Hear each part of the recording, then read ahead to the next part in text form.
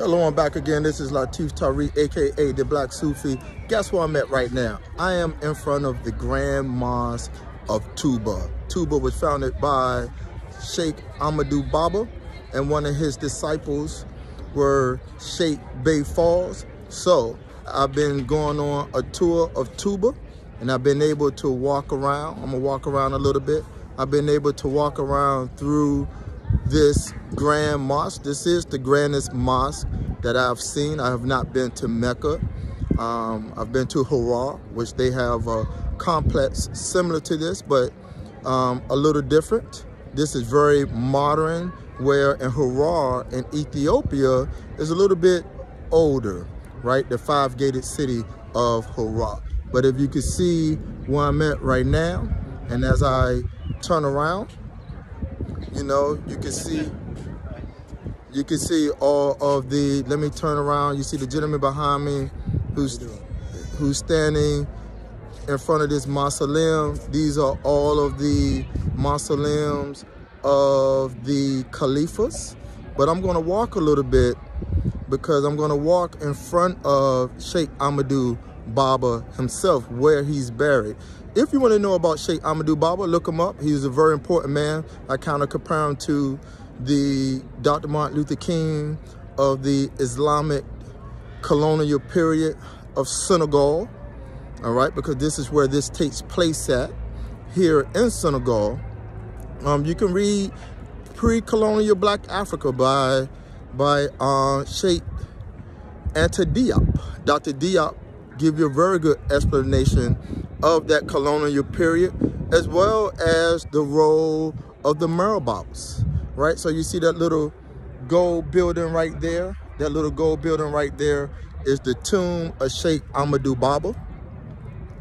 All right, so let me go back to Dr. Diop a little bit. So if you look inside of pre-colonial Black Africa and you read, he talks about the superstructure and which comes in that impacts Black life and pre-colonial that is before Islam comes in as a superstructure and institution before the impact of the slave trade and that of the colonialization period of Europeans coming into the Senegambian area, particularly the area today we call Senegal. We're not that far from Dhuhr, which is the second prayer of the day, and hopefully I can be here doing the call of prayer, right? So this is a Islamic city, okay? I'm not sure, because they used the term Khalifa, right? So I'm not sure if Touba is a caliphate, right? Uh, authentic caliphate, because it is still within the country of, of, of Senegal, which is somewhat a secular Muslim animist syncretized system, belief system of Islam. And it's as many Sunnis here, but the majority of the people in Senegal are Sufi Muslims. So if you don't know a lot about Sufi Muslims, look them up. Um, for those who are into the esoteric and exoteric sciences, those who are Masons, Shriners, um, within those groups, Moorish Science Temple of America, Nation of Islam, some of these other Muslim groups, they understand what it is to be esoteric. So there is that gold building right there, right behind me. It's the mausoleum, the shrine of Sheikh Ahmadou Bamba. So as you see, I'm walking around. You can see children playing in outside in the courtyard. This is a beautiful courtyard. If you look at the floor, you cannot walk on shoes in here. You have to have either barefoot or like myself, I have on socks with stockings over the socks. So that way you will not track the outside trash into the area in which before you get into the mosque. So like if you go to the mosque in the United States, you know, you kind of take your shoes off at the door before you go into the main prayer room, right? But here, when you even get on the grounds, you have to take your shoes off. It's all marble.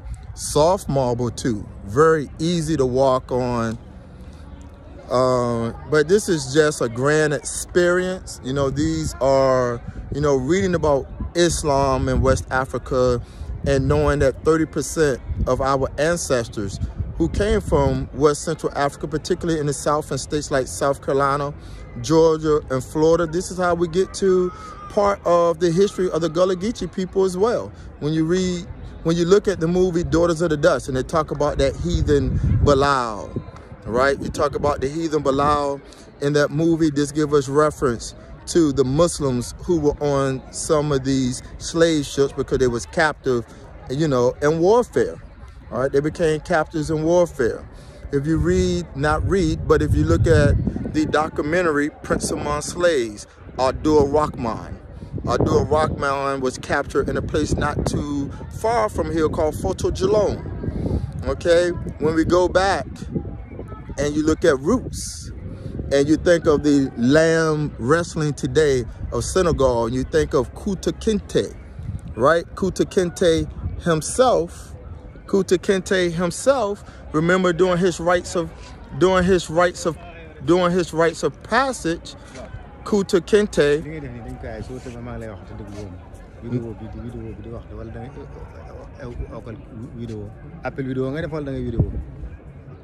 Uh, I don't understand you. No Wolof. No Wolof.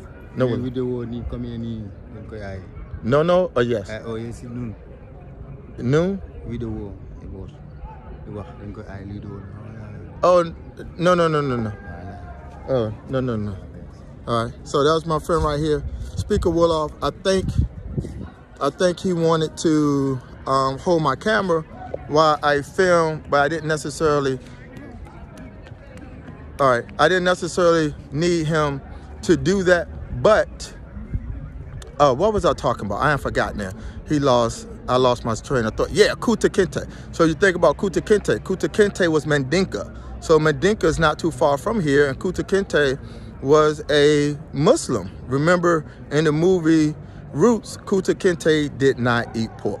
So this is where I'm at right now. I'm actually about to go meet my group, and I'm going to sign off from the Grand Mosque here in Touba. Let me see if I could get some more so you can see what I see, all right, let me show you.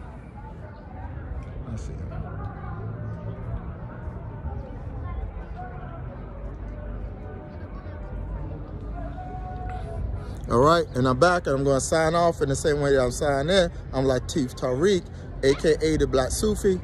Peace.